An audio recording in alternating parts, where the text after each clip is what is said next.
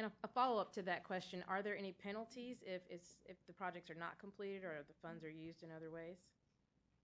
Well, the, you get the penalty of the public not trusting you. You know, th- there's, there's certainly, um, the bill is very clear that you got to build the projects, all right? Um, and you, you don't have an option of not building them. It di- didn't give, it does not give an out. One of the things um, that we have that I suspect is not unique to us, but certainly that um, many of you who are familiar with Cobb SPLOST program knows, we have a very transparent process. Um, we prize transparency in our county government. Um, we have a SPLOST oversight committee. As you know, we were the first SPLOST in the state of Georgia back many years ago.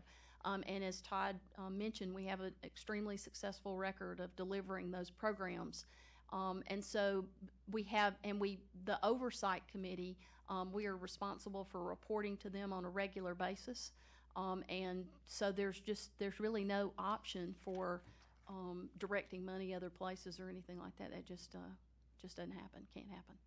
Okay, I thank you. do want to emphasize one additional thing uh, for the people tonight is that the Transportation Investment Act has multiple layers of accountability, as Todd described uh, for everyone. And that was built into the legislation with accountability in mind. Um, the funds initially go to GSFIC, which is the state, uh, Georgia State Financing Investment Commission. Then it's distributed to the Department of Transportation or GDOT, who is then responsible for the execution of the program. Above and beyond that, the Depart, the Commissioner of Revenue audits and monitors the program of funds, including the implementation. So there's multiple layers of accountability to make sure that, that projects are implemented, implemented on time and within budget.